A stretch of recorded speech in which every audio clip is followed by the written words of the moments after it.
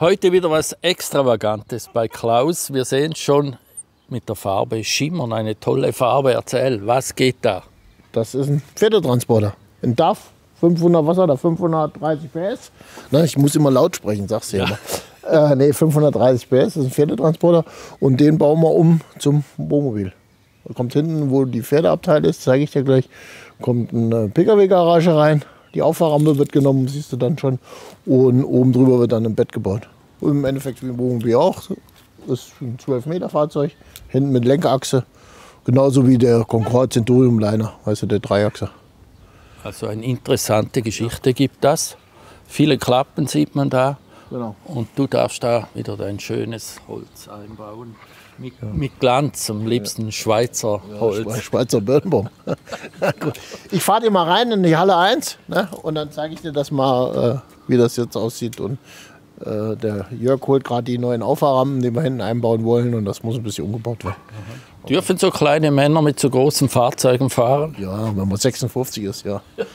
Ich habe extra noch meinen Führerschein letztes Jahr verlängert gekriegt. Also fünf Jahre darf ich mindestens. Ich musste auch äh, extra einmal Gesundheitscheck Check machen, alle fünf Jahre. Das wäre die Stromzufuhr, die muss weg. Und man So, wir sieht, weiß wie viele Klappen. Das ist wie ein Weihnachtskalender. Gut, steig ein. Der geht, glaube ich, jetzt eben in die Halle.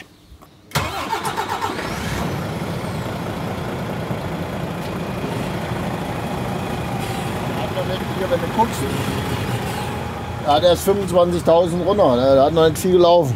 Ist jeden drin, ist er wie neu. Und wir können aber gleich mal, wenn wir drin haben, können wir Und der Pferdebesitzer, der hat plötzlich keine Pferde mehr oder das war ein wahrscheinlich abgekauft irgendwo? Ich kann es ja gar nicht sagen, weiß ich nicht. Hat der Daniel mit dem Kunden gemacht.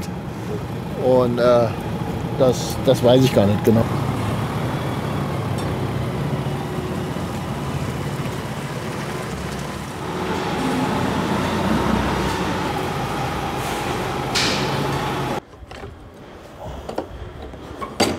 Zwölf Meter ist schon nicht zu unterschätzen. Man sieht, wie man manövrieren können muss oder sollte. Sonst hat man auf dem Stellplatz schon Mühe. Gell? Hier sehen wir schon. Hast du das gemacht? Nee, das war ich nicht. Das war ich nicht, aber wir machen das weg. Aber das kommt vor.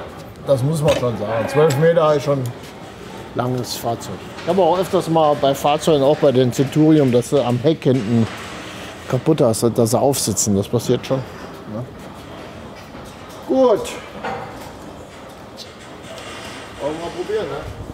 Vorsicht. Hopp. So. Bauen wir das um. Die Heckklappe um. Weißt du, ich muss mit, mit nochmal zu Auszügen machen. Dass du mit dem Auto hochfahren kannst, weißt du. Soll, Aber sehr steil, oder? ja, das, deswegen, das messen wir nachher mal aus. Der Jörg hat schon mal hier so Aufwärmen geholt. Dass wir das mal einen gewissen Winkel, gucken, wie der Winkel passt. Und äh, ein IQ soll rein. Für einen Toyota. Und hier habe ich noch ein paar Aufwärmen stehen. Und das wollen wir mal passend machen, anpassen, verkürzen vielleicht. Die sind, das sind so Rampen, wie, wie beim Concorde drin sind. Weißt du, wo du hier die rausziehen kannst. Aber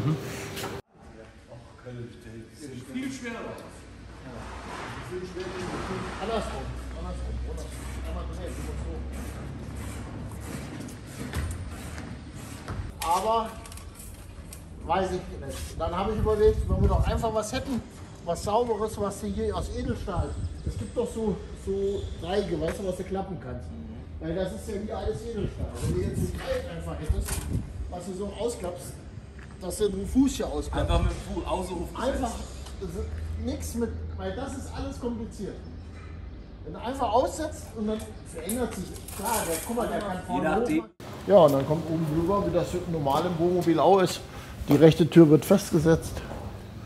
Und dann kommt ein Boden drin, ein Bett soll rein, Schlafzimmer. Ne? Wie das, Im Endeffekt ist das nachher genauso wie beim normalen Wohnmobil auch, wie bei dem anderen Fahrzeug auch. Also hier soll ein Bett rein und wie muss man sich das vorstellen? Ja, im Endeffekt, wie das bei den anderen Fahrzeugen auch ist. Hier steht das Auto dran. Das Auto ist, glaube ich, 3,60 Meter. Und dann machen wir hier eine Platte rein. Wie, wie das bei den Ja. Concorde oder Morelos, allen ist wo die Garage drin. Mein lieber Markus, jetzt wird's hell. So, du hast den Hauptschalter gefunden. Ja, zeig mal, zeig mal da was. Wie verbauen Sie das? Das ist hier ja, von Victron. Wechselrichter dran.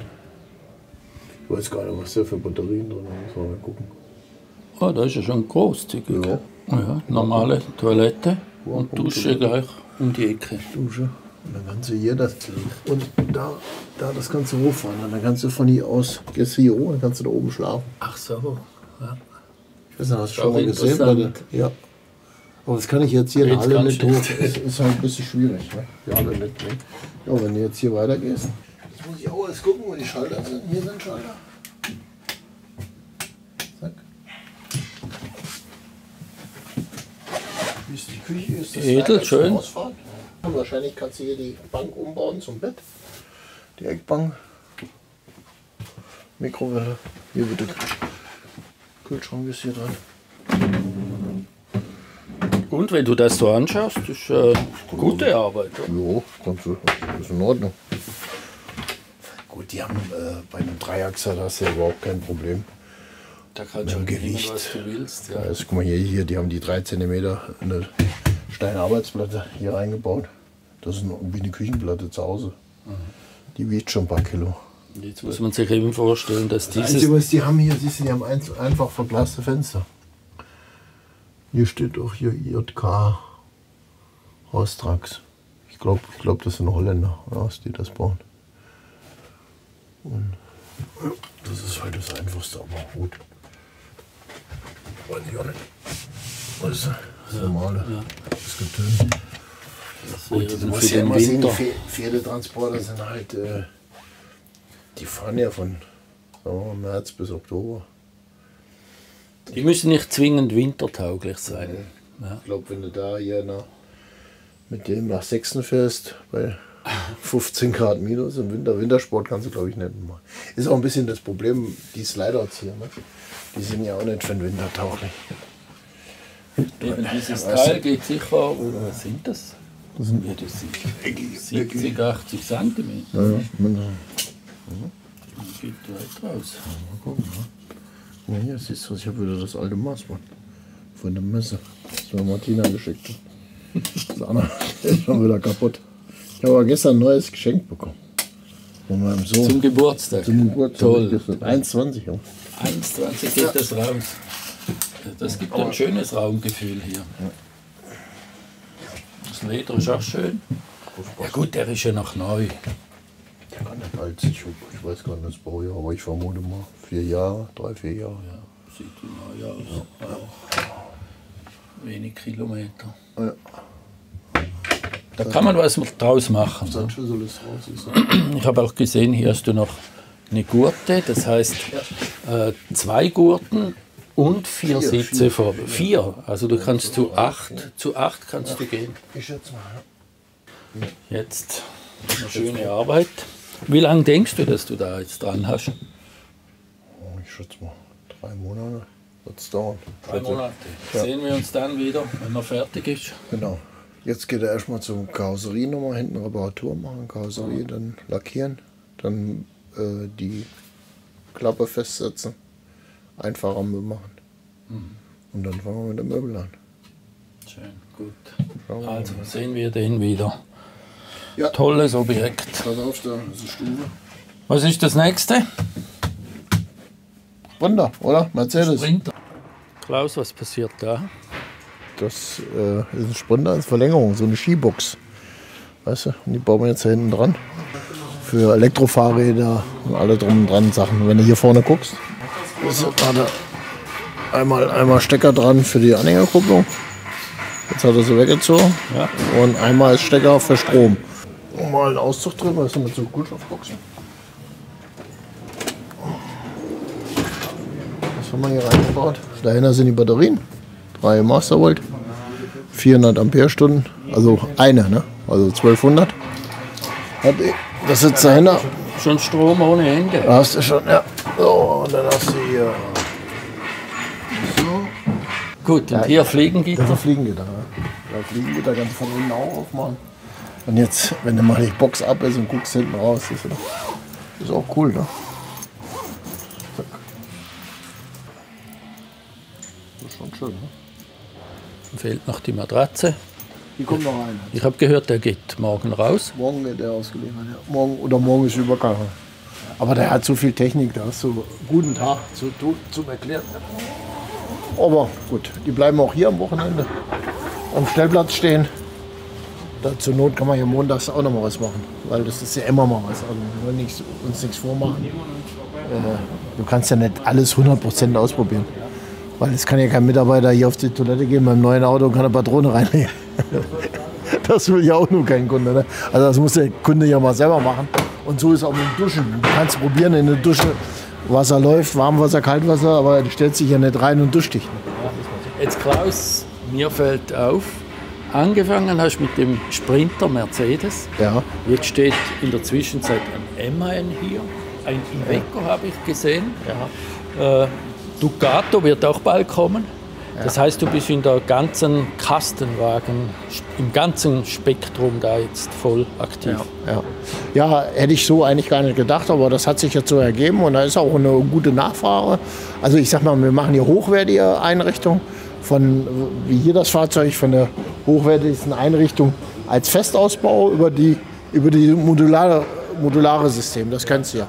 Und das ist halt, muss ich sagen, das ist schick, ist, ist stabil, was wir da einbauen. Also ist ja noch nicht fertig hier bei dem, die sind ja alle neu. Und äh, ist halt auch äh, flexibel bist du damit. Ne? Und das funktioniert sehr gut. Ist halt für äh, Berufstätige sehr klar, äh, gute Sache. Ja, und dann machen wir jetzt hier auf MAN. Aber der MAN ist dasselbe Auto wie der VW Kräfter. Also ist eins zu eins das gleiche, wird auch gebaut.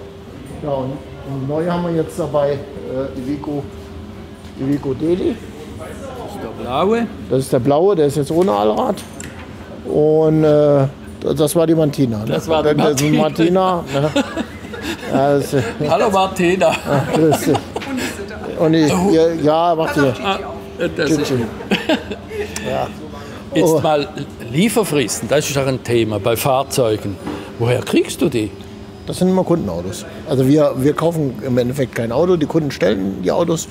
Und da ist halt momentan, äh, wir sind ziemlich ausgebucht, aber äh, es geht doch mal jetzt zwischendurch äh, ein Auto dazwischen zu schieben. Wenn einer ein Auto hat, einen Kastenwagen, kann man den sogar manchmal kurzfristig ausbauen, weil äh, wir, wir zum Beispiel selber haben ein Fahrzeug bestellt für Juni und das kommt, sieht noch nicht so aus, dass das kommt. Und der Bauplatz ist ja frei. Also kannst du jetzt immer ein bisschen jonglieren. Ne? Und äh, also das ist schon machbar momentan. Und wie gesagt, jetzt sind wir Iveco Delhi und danach möchte ich dann ähm, auch nochmal mit dem Fiat Ducato anfangen, weil da ist auch schon die Nachfrage gro gro- groß. Aber wir hatten uns am Anfang auf Mercedes äh, beschränkt, aber ich sag mal, ja, jetzt ist auch durch die ganze Lieferzeit, man muss ein bisschen flexibel jetzt sein. Ne? Und du musst ja nur andere Maße eingeben. Das Konzept besteht ja. Das Konzept ist immer das gleiche. Ist halt nur innen drin eine andere Bauform. Ne? Ja, Ja, aber wenn du hier guckst, der Iveco ist, ist von der Sache her ein äh, bisschen kastiger, ne? bisschen eckiger. Und ich glaube, der Fiat Ducato, der ist noch mehr gerade. Ne? Du könntest das auch mit Ford Transit machen. Aber ich glaube, in der Wohnmobilbranche ist der Transit gar nicht so ein Fahrzeug, was, was genommen wird. Der Deli wird halt viel genommen, aber auch nicht direkt als Kassenwagen, aber hier in dem, in dem, als Fahrgestell, ne? weil er hohe Nutzlast hat. Das ist sechs Meter, nehme ich an, Das oder? ist ein 6 Meter Auto, ja. Der müsste genauso lang sein. Gut, und der nebendran? Das Allrad? Kunden- Ja, Allrad. Das ist ein Kundenfahrzeug. Das hat jetzt ein Kunde gebracht. Ja. Und die Idee besteht schon. Ja, also der, der war ab Werk so. Hier kommen noch äh, an der äh, Dachluken rein, Fußboden kommt raus, da kommt hier so ein Fußboden rein, hier drüben mit dem Schienensystem. Kennst ja dieses, dieses äh, von Schnelle ist das Fußbodensystem. Hier, hier ist schon eingebaut. Hier ist das Fußbodensystem das schon kennen wir ja. Das war auch so, äh, das Fahrzeug war schon mal hier, da haben wir nur die Fenster reingemacht und den Boden rein. Und der Rest wollte der Kunde selber machen. Und wie das manchmal so ist, hat er äh, doch keine Zeit mehr. Ne? Und jetzt tun wir das Fahrzeug isolieren und fertig ausbauen. Da hat er Das, eine- das ist jetzt die Isolierung, die du jetzt an der das Wand ist hinmachst. ganz genau 2x25. Das klebst du einfach auf. Das ist auch mal Flex. Ja, 20 ist das. 2x20, also hast du 40, also jung, aber siehst ja, ist dann flächenbündig. Das ist so ein Hersteller, weißt du, hast du schon mal bei den Bussen gesehen. Gibt ja, ja, die, ja diese ja. Busse. Äh, und da, davon ist das so eine Skibox. Und wie gesagt, hier hast du einmal normal für die Beleuchtung. Ne? Und das ist ein Anschluss. Ich weiß nicht, ob es unten drunter haben sie wahrscheinlich noch einen Stecker gemacht. Die Masse dann wird unten drunter angesteckt, damit du hinten drin. Oh ja, fahren wir mal ein Stück hoch. Ja, so. Siehst du? So, und jetzt liegen hier drin, ich weiß nicht, das wird noch verkleidet. Äh, hier kommen dann die Fahrräder rein, ne? Ja. Waldemar ist für, für die Fahrräder gemacht. Und da, was hast du da hier reingemacht? Waldemar, was ist da dran? Das ist Heizung. Und Steckdosen. Und hier kommen Ablagen dann rein, oder? Da kommt jetzt die Bodenablage rein, das war's. Hier ist hier frei, damit du die Fahrräder reinkriegst. Kommen die Fahrräder rein, oben ist Ablage, ja? Genau. Ja, und das war so eine fertige Box. Die haben wir dann lackieren lassen. Ne? Klaus kann er die schlussendlich wegdrehen. Ja, da kommen hier Bolzen rein. Ja. Wollt ihr? Seid ihr soweit? Und, so, und wieder dran.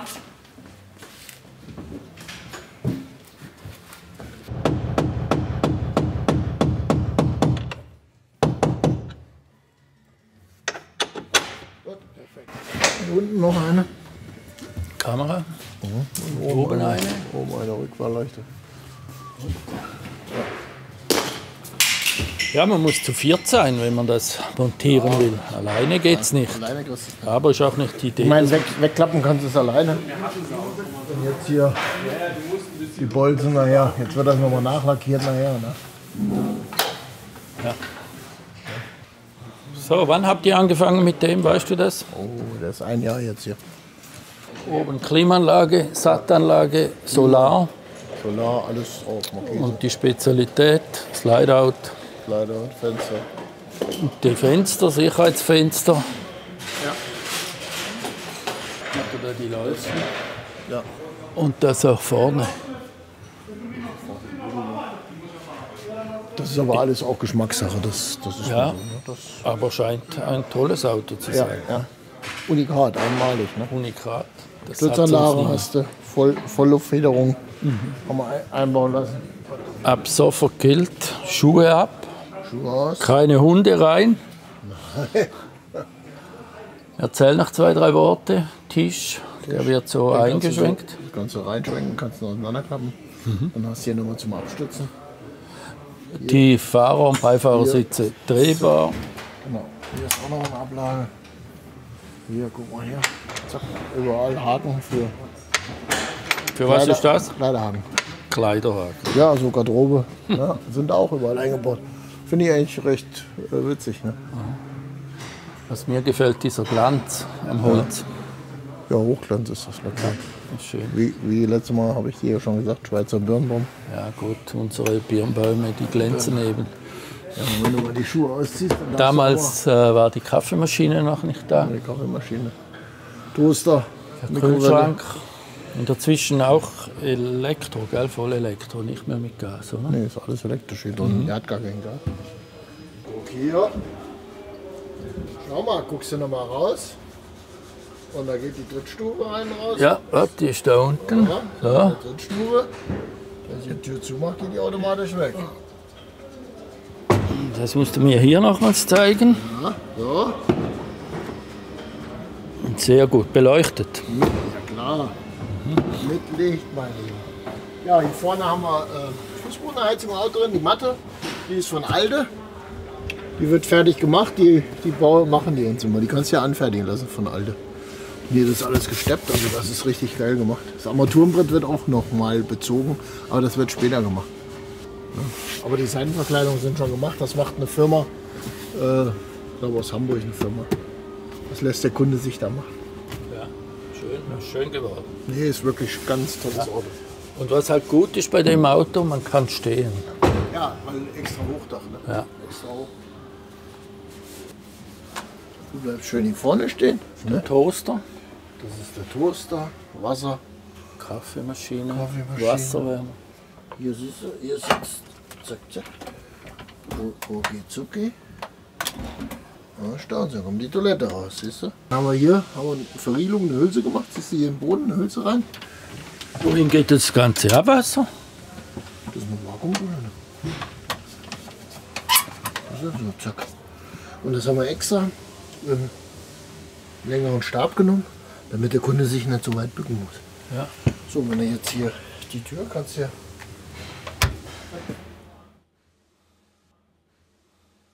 Ich dachte jetzt, das, das nur euch Schweizer, ihr seid immer so langsam. Da muss man immer alles hier, siehst du, hier drin liegt er.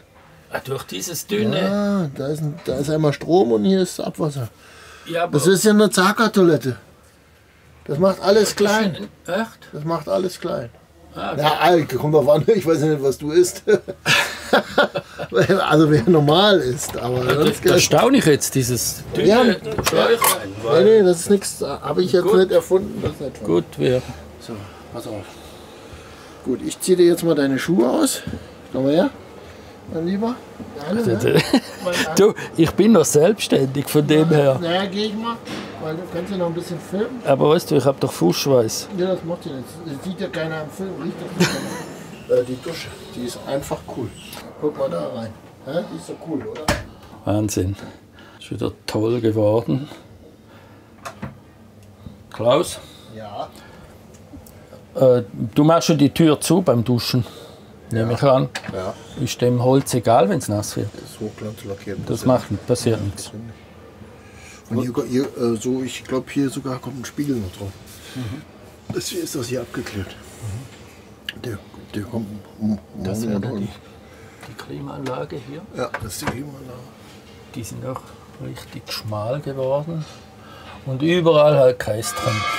Kästchen, Kästchen, Haken. Alles da. Der Haken, der gefällt dir am besten. Ja, das stimmt. Jetzt guck dir mal hier das an auch. Wir reden immer noch vom Kastenwagen. Das ist gigantisch, ne? Das ist die Spülvorrichtung für Toilette, Licht, Strom. Ja. So. Und hier der Staubsauger, auch schon schön in der Ecke platziert. Das kannst du dann noch rausziehen. Weißt du, kommt das Matratzenteil rein. Ja. Also ist schon. Und hier die- Kopfstützen, die kannst Die kannst du hochklappen. Ne? hochklappen. Fernseher, Zusätzlich. Fernseher, der zweite. Wie lang sind denn die Betten so? Was ist das? 1,95. Das Sieht nicht so aus. Ne? genügt. Wasserpumpe Technik, Abwasser. Ja, das Problem ist hier zum Beispiel, ähm, das haben wir normal in meiner Garage. Die Sicherungen, ne, die haben wir hier reingemacht, dass du von oben dran kommst. Das machen wir normal alles in die Garage. Und das Problem ist hier, wenn die Box da hinten dran ist und fällt eine Sicherung oder geht eine raus, dann musst du immer erst hinten aufmachen. Ja. Komplett. Und das haben wir halt hier geändert. Ne? Normal machen wir es hinten hin, kommst du eigentlich auch ganz gut dran, aber na gut. Keine schlechte so, wie es Idee. ist. Stellplatz, Stellplatzthema. Da haben wir ja was gemacht, die Leute haben reagiert. Ich habe es gemerkt, die meinten, es seien Aprilscherze. Die haben uns nicht ernst genommen. Und äh, in der Zwischenzeit, was ist da abgegangen? Ja, es sind schon viele Anfragen. Ähm, gut, man muss auch den richtigen finden. Ne? Also mal, äh, es muss auch passen. Ich meine, man muss ja über Jahre noch immer noch zusammenarbeiten und dann muss auch das Ganze passen und es muss für, für den, ja, muss für uns passen und der, wie soll ich das sagen, die Chemie muss stimmen. Ne? Das ist schon wichtig. Es sind ja im Prinzip zwei Sparten, der Stellplatz oder das Restaurant. Das Problem ist mehr das Restaurant, denke ich. Ja, das Restaurant. Du musst jemand haben, der Gastronomie kann. Ja, der weiß, äh, was in Gastronomie zu machen ist. Weil ich sag mal, Stellplatz selber machen, das ist, ist auch Arbeit, aber das ist jetzt nicht so äh, ja, schwierig. Weil musst du Rasen mähen und musst alles ordentlich machen. Und musst halt auch äh, die Kundenbetreuung, das musst du auch können. Ich meine, das kann ja Michaela genial, macht sie ja. auch klasse. Und äh, alte Restaurant äh, läuft ja auch, aber du musst halt auch Restaurant betreiben können. Und du könntest auch locker mal einen Tag mehr aufmachen. Wir machen jetzt vier Tage auf, aber das hat auch was mit, ja, äh, weil, was, weil ich noch zusätzlich mache. Äh, du könntest auch schon mittwochs aufmachen. Ne? Oder, oder Also heute. Morgen, ich habe ja übernachtet, ich glaube 15 Autos standen da. Ja, das ist eigentlich gut. Du, heute, heute reisen die an, ne? weil ab, merkst du auch, ab heute ist die Gaststätte auf. Ja, und dann kommen die. Ne? Das passt schon. Also nach wie vor kommen, äh, auch wenn es zum Verkauf ist, hat das ja nichts zu tun. ob man hier hinfahren soll oder nicht. Momentan ist alles beim Alten. Ist alles so, wie es war. Kein, überhaupt kein Problem. Genau. Also das wird sich auch so nicht ändern. Wir werden versuchen. War jetzt letztes Wochenende war Phoenix Club da.